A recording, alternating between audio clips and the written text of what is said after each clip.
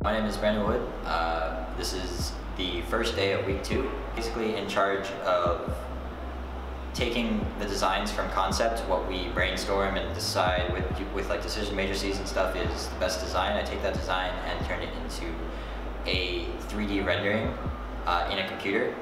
And then we can take those renderings and turn them into um, files that we can use to manufacture the parts.